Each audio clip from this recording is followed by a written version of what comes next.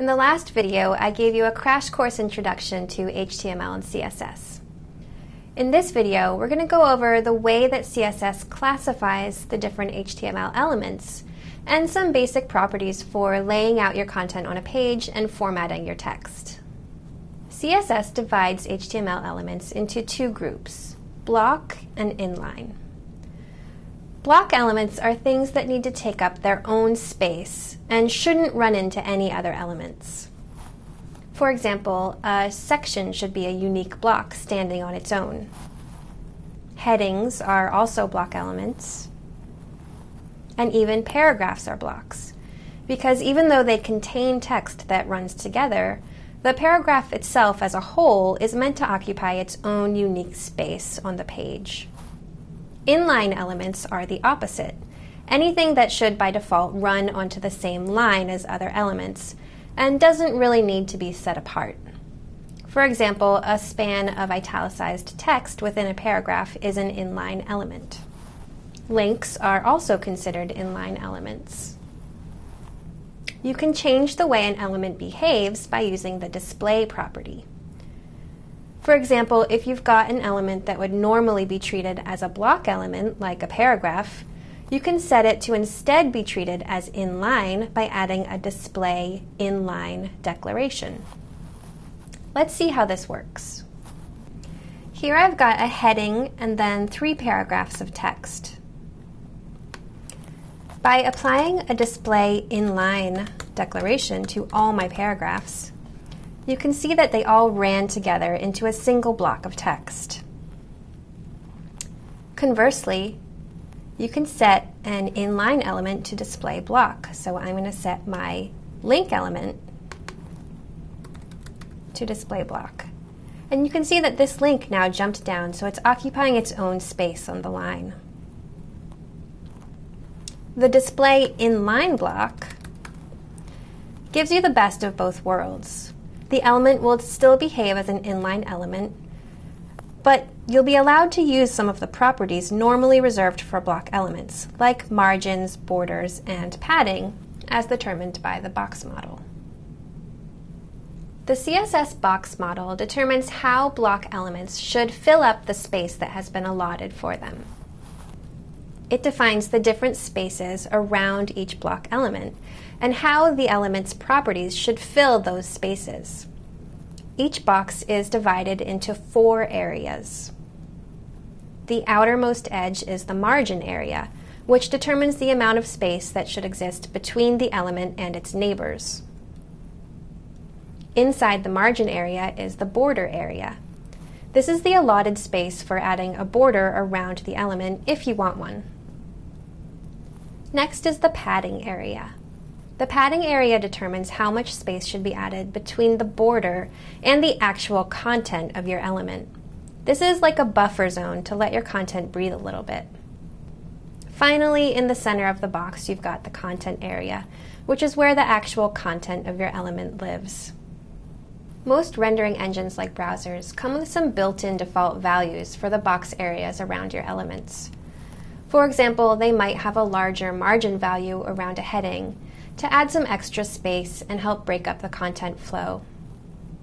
But you can redefine your box properties however you want, and your definitions will override whatever built-in defaults your browser has. Let's take a look at another example. The properties to use for each area are pretty easy to remember. You've got margin for your margins, padding for the padding, and of course, border for the borders. To define margins and padding, you simply add a value to the property. I'm going to say 20 points. If you just add one number like I did, that will apply to all the edges of the box area. But you can also define each edge uniquely by adding four values, one for each edge the top, the right, the bottom, and the left edge. I'm going to go ahead and get rid of my padding here too. For borders, there are three components that you need to define. There's the border width, the border style, which determines what kind of line you should have if you want a dotted line or a dashed line or just a solid border. And then the border color.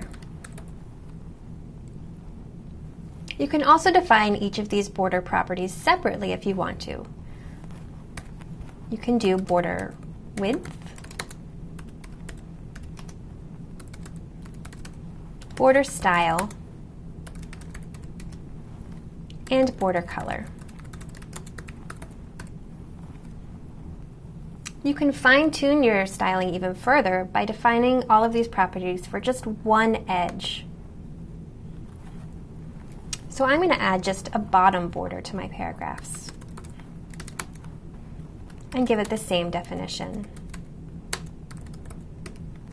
In the property name, you just specify which edge you want to define. You could change this to top,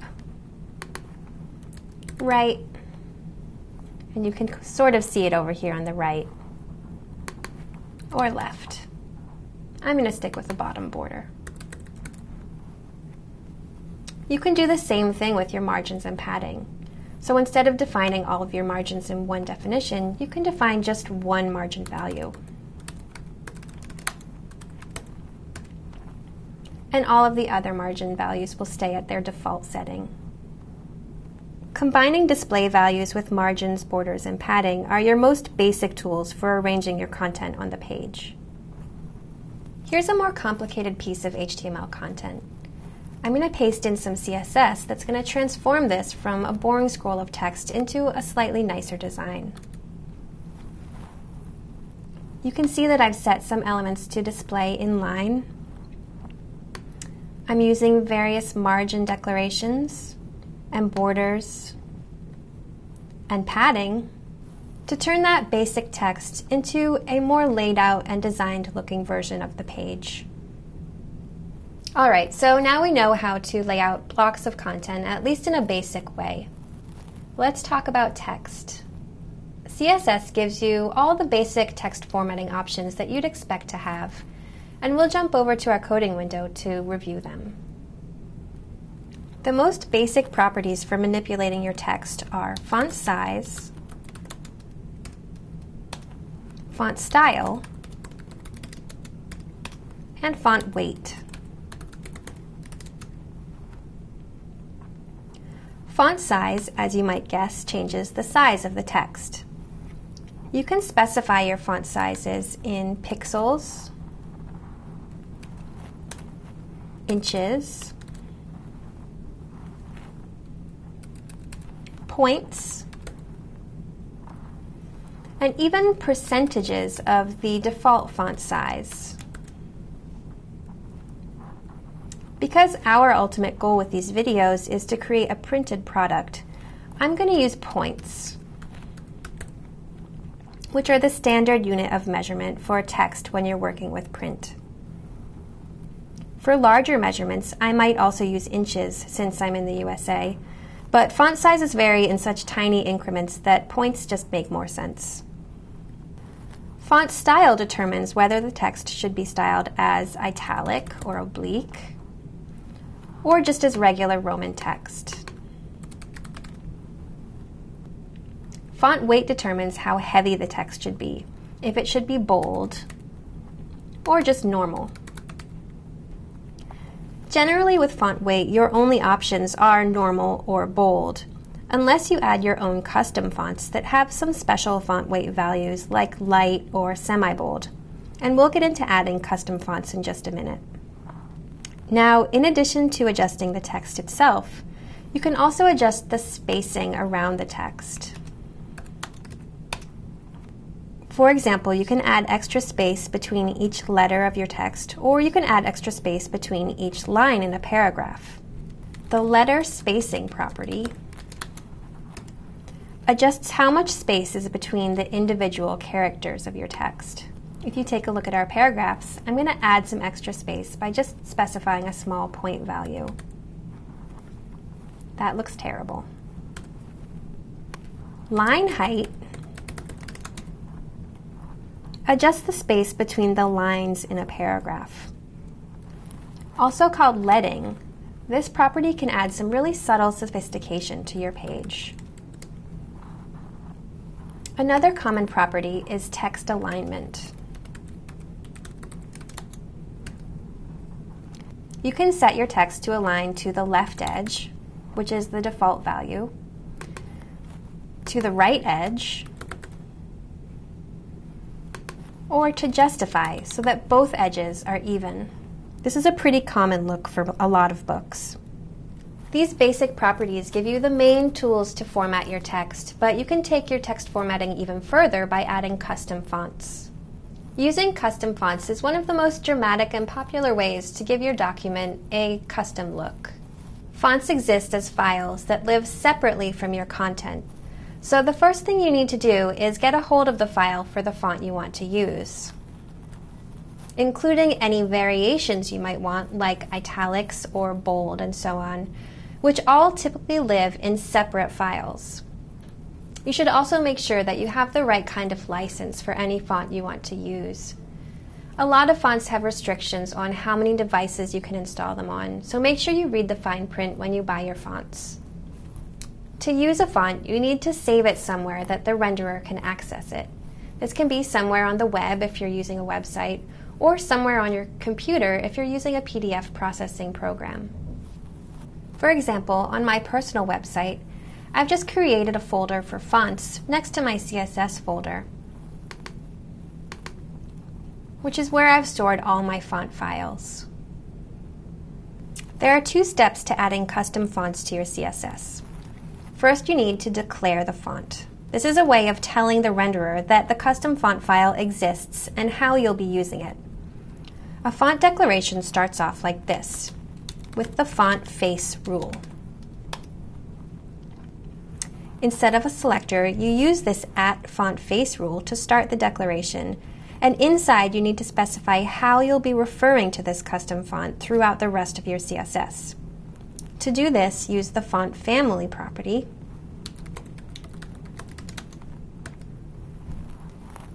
and add a name for your font here. This can be any name that you make up, but you should make it something simple and descriptive. I'm going to be using a font family called Roboto, so I'm just going to go ahead and use that same font name, Roboto. You also need to specify where the renderer can find the font file it needs to use by using the source property. The value of the source property should start with URL and then parentheses. And then you put the path to the file inside your parentheses. If you were working on a computer with a PDF processor program, this might look like a file path like this.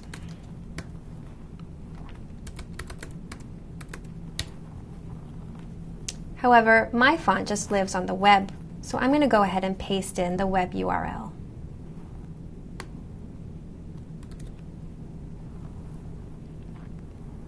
Then, to use that font, you apply the same font family value to whatever element you want to use your custom font in.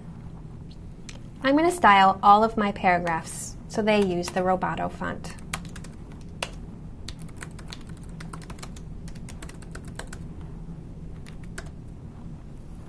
You can see over here that the paragraph font changed from the default serif font to my custom Roboto font. There are a few other optional values you can add to your font declaration to say whether this variation of the font is italic, or just normal, as this one is, and to say whether the font weight should be bold or normal, or some value in between. By adding these extra properties in your font face rules, you can use the standard CSS text formatting properties like font weight and font style in the rest of your CSS, and you'll know that the renderer will use the correct font file for every variation. So, for example, in my document, I want to use the Roboto font family for most of my text. The Roboto family actually includes file variations for all the different kinds of font faces regular, italic, bold, bold italic, and so on. So I need to add a font declaration for each of those font faces in my CSS. I already had those written out, so I'm just going to go ahead and paste those declarations in here. You can see in all of these declarations that I've used the same font family name, Roboto, for each one.